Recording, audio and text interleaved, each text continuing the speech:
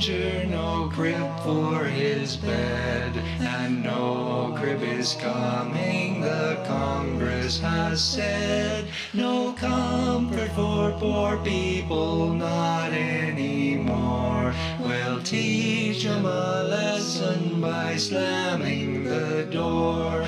The stars in the sky look down where he lay. His parents are lazy, dad might be gay. Well, they are a burden, and we've had enough. We're cutting off access to all that free stuff. That baby grew up and he taught peace and love. There are many believers in Congress.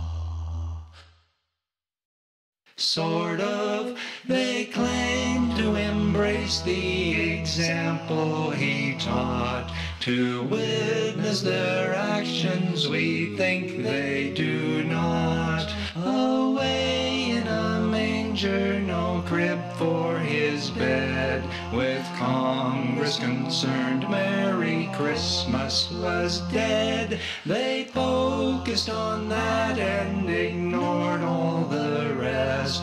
Devising new ways to oppress the oppressed.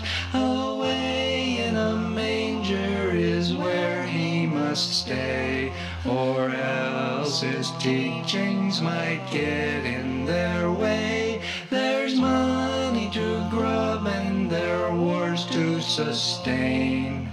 That they believe in their faith, just feign. To them we now say you are not what you claim. It's apparent that profit is your only aim.